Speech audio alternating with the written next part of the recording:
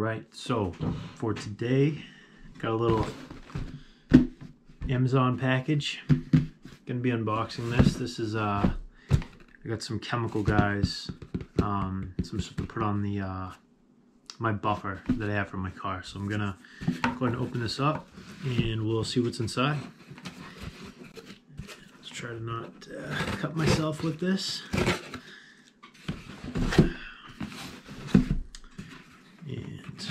see how it looks. I'm kind of new to the whole chemical guys aspect, but it seems like their products are really, you know, liked by a lot of folks in the automotive industry. So let's see what we got here.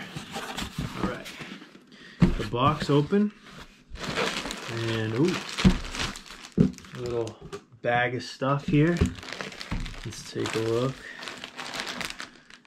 So this is a kit that I got, um, and it comes with all the different pads. Uh, so I'll go ahead and open this up and go through them all for you guys.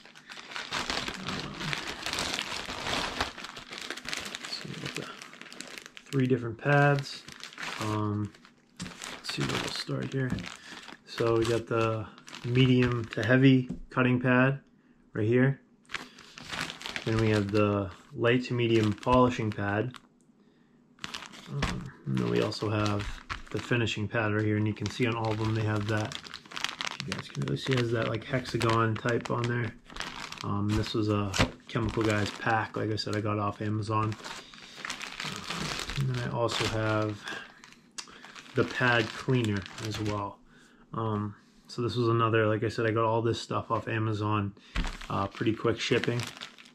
Um, and yeah, these are all for the five inch um, buffer, and I actually have a um, have a buffer downstairs that I use. I don't have it up here with me right now, but um, I'll try to get another video up when I do, uh, you know, try these things out. But hopefully this video helps you guys out with, uh, you know, your purchases if you're looking to buy um, some of these type of pads and stuff like that.